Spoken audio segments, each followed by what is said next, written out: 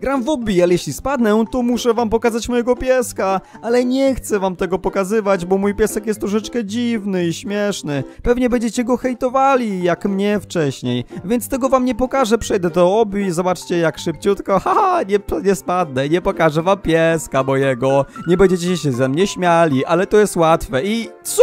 Jak ja padłem? Ej, co? Przeskakałem normalnie. Niestety spadłem i muszę wam pokazać mojego pieska, ale jeszcze zanim, kto będzie szybszy od tej piłki? Kto zdąży kliknąć subika i łapeczkę w górę naraz? Szybko spieszcie się, piłka mija, klikaj teraz! A oto jest mój piesek, tylko proszę nie śmiejcie się ze mnie w komentarzach i z mojego przyjaciela.